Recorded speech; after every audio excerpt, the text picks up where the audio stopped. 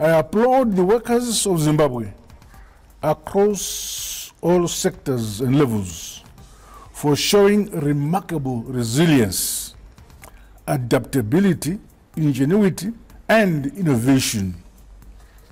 It is through your dedication and perseverance that we are witnessing unprecedented economic growth and development in our country.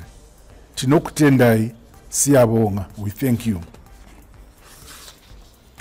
My fellow Zimbabweans, government remains committed to facilitate an ecosystem that ensures the effective protection of workers from all acts of exploitation.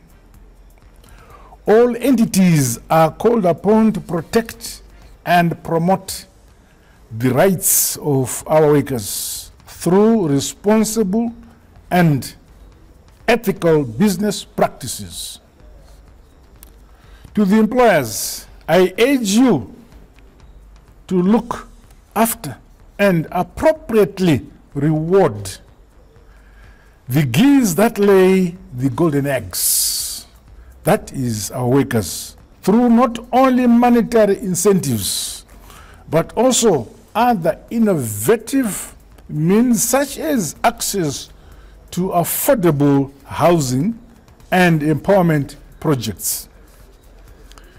We pay tribute to workers in the public sector and recognize the pivotal role they play in ensuring essential service delivery and fostering an environment conducive for national development.